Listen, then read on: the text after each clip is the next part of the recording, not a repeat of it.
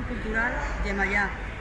Hoy, desde el marco incomparable de la fiesta del PC, quiero unirme al grito unánime que hay de que quiten a Cuba del bloqueo que lleva más de 60 años ejerciendo el criminal gobierno de los Estados Unidos eh, y quiero también pedir que le saquen de la lista de países que patrocinan el terrorismo. Es absurdo absolutamente.